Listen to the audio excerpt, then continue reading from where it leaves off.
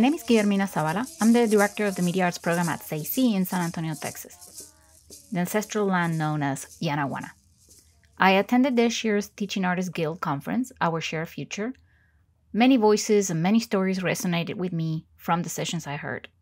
This audio piece focuses on two main aspects of the conference community and social justice curriculum. You'll hear excerpts from two sessions Teaching Artists Stories and Making Meaning with Dr. Jamaica Osorio. Both panels were moderated by Miko Lee, who is a member of the National Advisory Committee of the Teaching Artists Guild.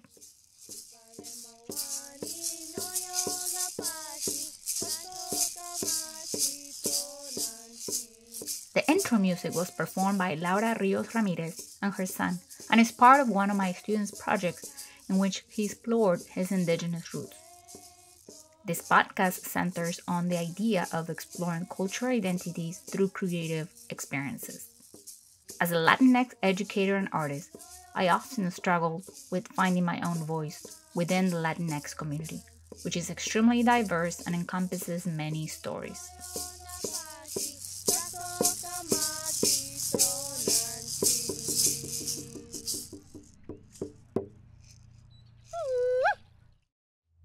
Miko Lee opens up the first session by sharing a personal story.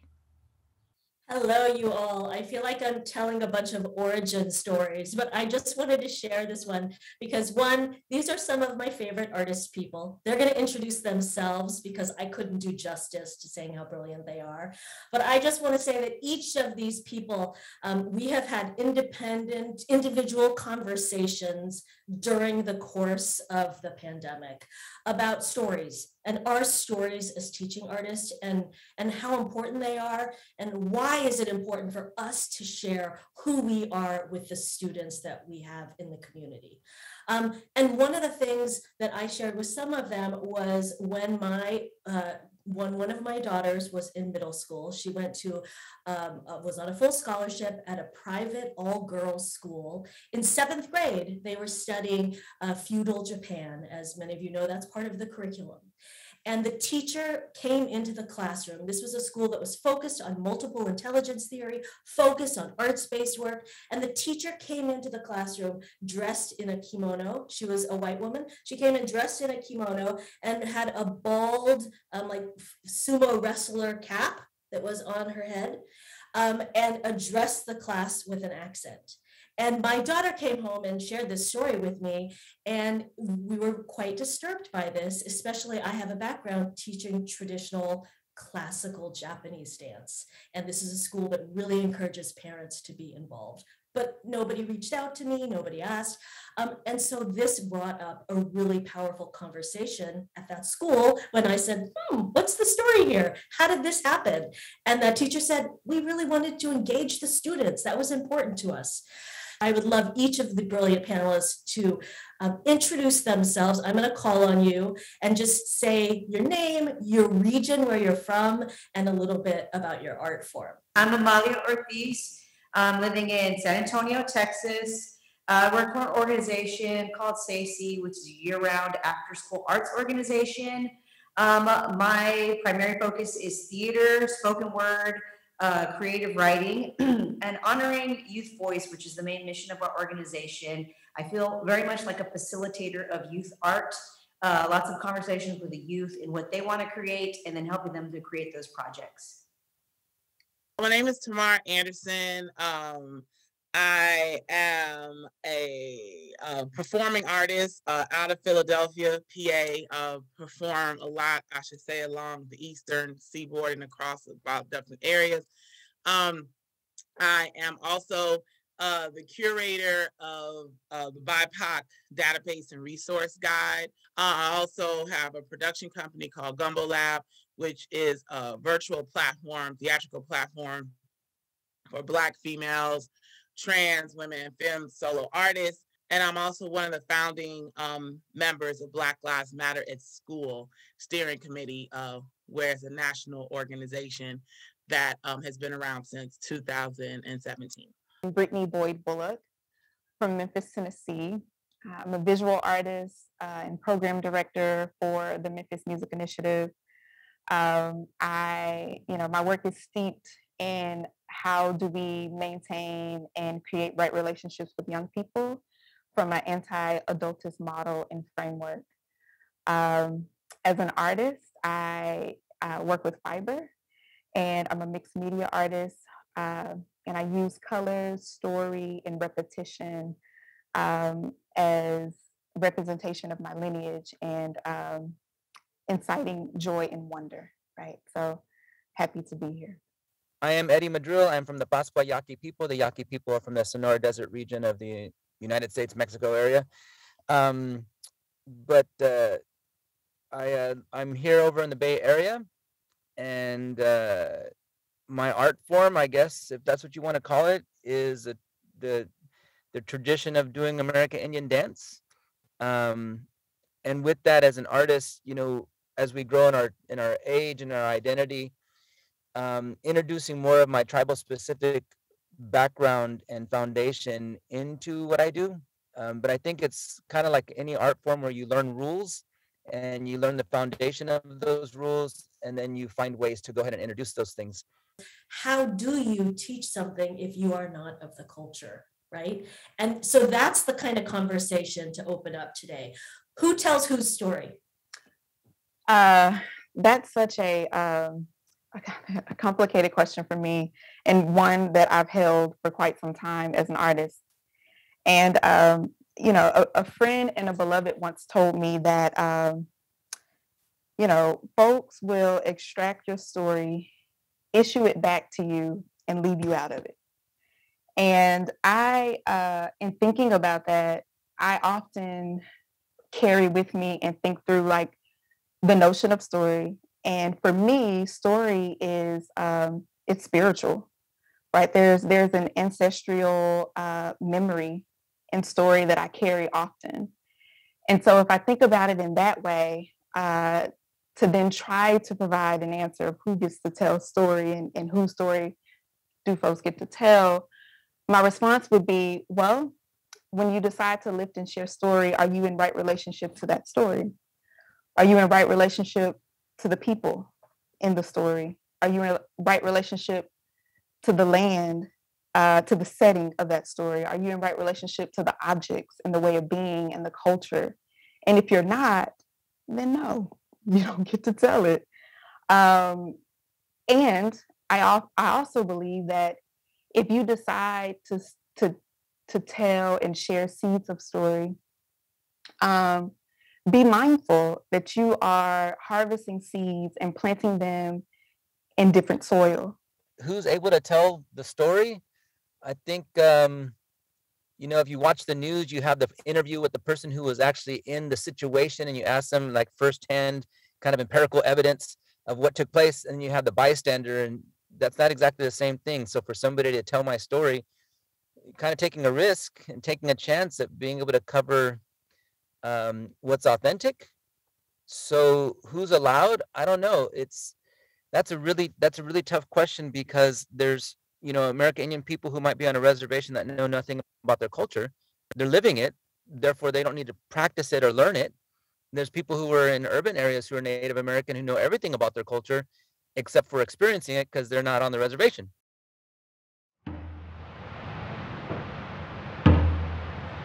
Without any local prehistoric reference, we must assume that our Creator created Mother Earth and Father Sky.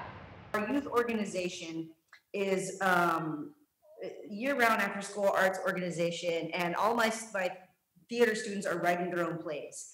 And so um, it is beginning with the stories that they want to tell, um, honoring like the language that they want to tell it in. We have had stories before that have been bilingual, bilingual but also bringing in teaching artists of different cultural backgrounds.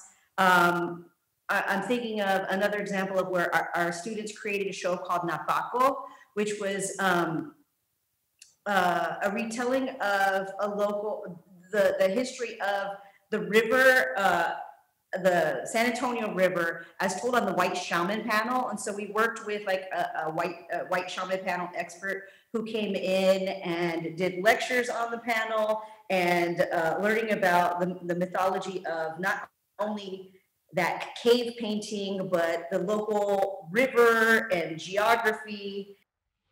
In the time of the cold, the dark, the deep, and the wet, Mother Earth removed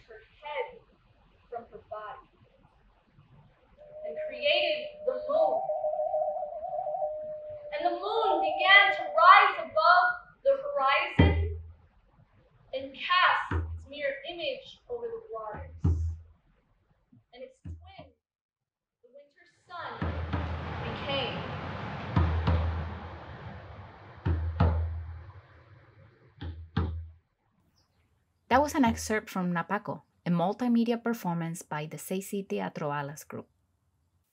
It's looking outside of my own knowledge for my students, uh, challenging my students to look outside of their own knowledge, their own cultural heritage at time, times, but also bringing bringing what their own cultural heritage to the table uh, when we are deciding what are the stories we're going to tell, um, when we are going to have creative writing exercises, just honoring every you know all of their diverse stories. Thank you for that. Uh, Tamara, who can tell whose story? It's such a powerful question because so as somebody, I feel like I'm constantly on the thread of this with adult artists and also working with teaching artists in schools and working with teachers in schools, right? So that's where my life intersects, right? So I train K through 12 educators. And one of the places where I feel like I'm always the intervention is when I bring up culturally relevant pedagogy. So it's not so the school itself, like I feel like the school, schools as an institution and art organizations as an institution are are solely focused on a white gaze how funding comes through how they view you as an artist how they how they even sell what you're going to do to kids for kids. And i say two kids because i feel like it's done to kids. That was, that was an accident when i said that. Um but i also feel like right now we're in a space where people are trying to check off boxes. And I'm very concerned about the checking off of boxes because then that means that you're not investing holistically in the adults in the space truly understanding what it means to give over and hand over and understand culturally relevant pedagogy or culturally relevant teaching or identity. What does that mean in the classroom? It also means we're not building these radical relationships in the classroom and amongst each other to really get to know where our kids are with the community that surrounds them so that it can uh, we can not only can get away with the gaze but we can also kind of circumvent what the funders want sometimes right um, and still get the money in places where it pays for amazing things to happen, right? Like I'm always concerned when DEI resources are mentioned and they don't mention race or gender or white supremacy. They're just like, we're just to talk about this. And so if you're not talking about those things, then you're also not talking, challenging who should tell the story. At a different session with Dr. Jamaica Osorio, who is an assistant professor of Indigenous and Native Hawaiian politics at the University of Hawaii and a three time national poetry champion, moderator Miko Lee poses the same question regarding cultural identities. Who tells whose story and who is it okay for, who's it's not? How do we navigate that? That's a great question. Um, and I think you know the the historical context is really important here right? So in hawaii up until almost almost the 90s um, nearly everything written and published in an academic arena about hawaii was done by foreigners.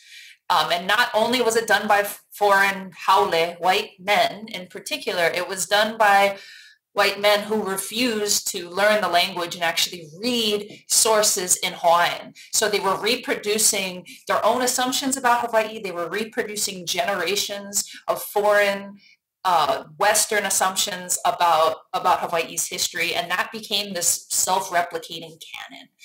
Um, that has been since disrupted by um, a few generations of very powerful troublemaking um, Hawaiian activists and scholars. Um, but it leads to this really really important moment in understanding who has the authority, the kuleana, we might say, the, the authority, the responsibility, and the privilege to tell our stories and how to do that in a meaningful way. For me, the like anything else, as an educator, it, it is my job to expose my students to different stories, different histories, different ideas, and different perspectives. But it is not my job to speak for those ideas, stories, and perspectives. And the hope is that we cultivate a classroom where students feel really safe to step forward and say, um, Kumu, teacher, professor, um, this doesn't really land well with me. Can I share why, you know, what we're talking about or how we're talking about something makes me uncomfortable? And to me, that that's the center of what it means to be um, uh, you know that's when i feel like i've actually succeeded when students correct me when students push back. Um, and it's it's what happens after that i think will define us as educators how we respond. How do you decolonize your teaching artistry your practice as an educator? In hawaii the word to teach is the same word to learn a'o um, there is no way to use the word without it being reciprocal, meaning you cannot teach without learning and you cannot learn without teaching. And so as a Hawaiian educator, I know when I, when I step into any classroom, whether that's like a traditional classroom or I don't know, we're out in some field telling stories or we're at the foot of a mountain trying to block desecration, um, I need to step into that space with the humility to understand that I'm coming to learn. The discipline of Mo'olelo teaches us that there is room for multiple truths. And in fact, multiple truths make us powerful. And many of our students have been educated, you know, many of my young undergraduate students have been educated to think of history as a single line, as a single story. Um, and anything outside of that story causes conflict, um, causes tension in a way that isn't productive for them. And so we do a lot of unlearning of that in my classroom to make room for all of the stories that come with them and all of the stories that I'm bringing into that space and understanding that we don't actually always have to reconcile these things, that two differing things can actually be true at the same time. Um, and again, that that can come to be a little more uncomfortable in the time that we're living in where um, there is a lot of misinformation being fed to to everyone around us. And so making that distinction between misinformation and like the truth that our students walk into the classroom with um, and how to cultivate that truth those truths um, so that they can continue to be open to learning and they can continue to be open to teaching those of us who are around them including their um, their teachers. This poem was written as a way to honor what it means to stand in the sacred. And I wanted to share it with you folks today because to me, it, it speaks to the way that we can have cross-cultural um, conversations rooted not in a sense of flattening difference, but actually rooted in our own understandings of the sacred and respect. And um, so I'd, I'd, like to share it with you folks today. It's called um, Call to Prayer. If I have faith, it is only because I know what it means to stand at the foot of a mountain, my whole body a prayer, the whole island a monument, and to see the center shining through the mist. I still see her before me, even from hundreds of miles away, anytime I have the strength to look to the horizon. If I have courage, it is only because I have watched our story remake itself in my generation. I have seen an island born from pole from a whisper in the quietest parts of ourselves here. A promise that we refuse to forget or forsake that this place is ours, only so much as this place is us. And I have held it in my hands, the birthing of worlds, po turned light, turned pukoa, uh, turned slime, turned gods in a time of mere men. I have watched the call of the intrepid summon Manaiakalani every morning in the hands of our kua'ana, Maui, fishing us one by one from the dark sea of this forgetting.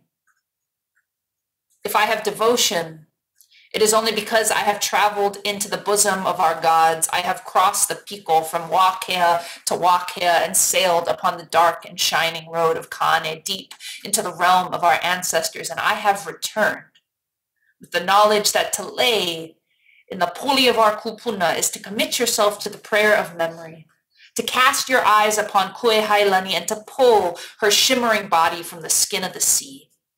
If I have anger, it is only because I know the stories of our loss. Ki'i burnt to ash, stones and ko'a removed, now the foundations of billionaire estates. I am aware that nearly everywhere we walk, we are trampling upon the bones of my ancestors. I know the mo'olelo of the hundreds of thousands dead and dying.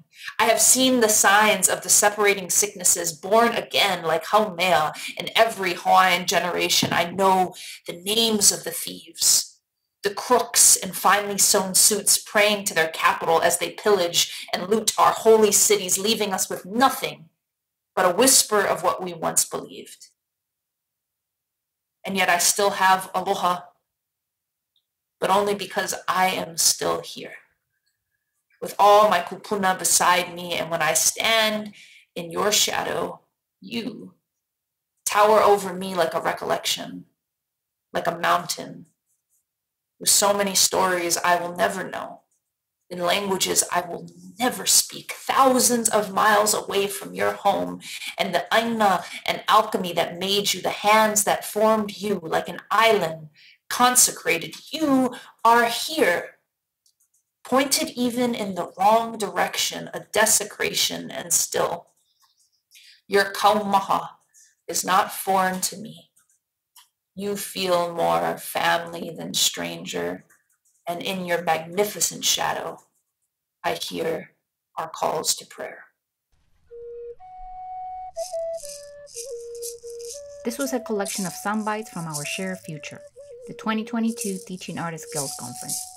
I'm Guillermina Zabala, Media Arts Director and Teaching Artist at SAY Sí. Special thanks to the conference organizers, the panelists, and all the amazing teaching artists who attended the conference.